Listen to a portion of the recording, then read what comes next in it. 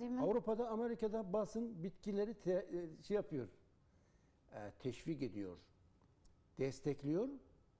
Türkiye'de de yani ne yaparız da biz bu bitkileri piyasadan yok ederiz diye uğraşıyorlar. Türkiye'de tam tersi.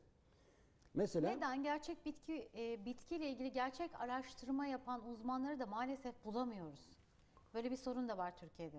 Ha, yani eğitimi yok, okulu yok. Mesela Almanya'da on binlerce herbalist var.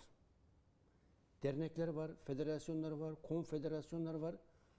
Almanya'daki herbalistler doktor gibi muayene etme, reçete yazma hakkı var.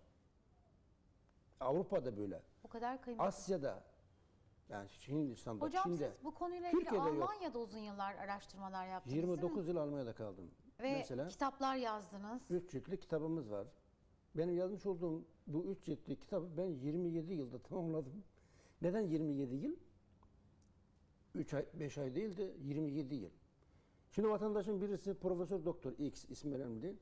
Oturmuş masanın başına 3 ayda kitap yazmış. Benim kitaptan, Ahmet'in, Mehmet'in kitabından alıntı yapmış, kitap yazmış.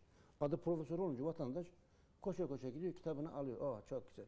Fakat içerisinde 20 tane bitkiyi hakkında yanlış bilgi vermiş. Vatandaş bilmiyor ki yanlış bilgi mi, doğru bilgi mi? Mesela benim yazmış olduğum kitapta binden fazla üniversitenin klinik araştırması var.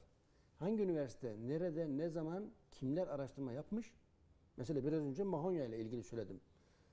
Profesör Doktor Wagner, Profesör Doktor Wiesenau yapmış oldukları araştırmalarda Mahonya'nın SDF'e karşı etkili olduğunu bizzat klinikte, şimdi Mahonya klinik araştırması diyoruz da gelip geçiyoruz.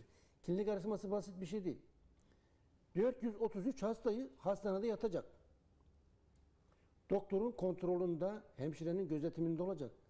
Kan tahlilleri, idrar tahlilleri, bütün tahliller takip edilecek. Ve sürekli gözetimde sabah, olacak. Evet, sabah, öğle, akşam bir hastanın bir günlük hasta masrafı Almanya'da 4000-5000 euro. Türkiye'de bilmiyorum.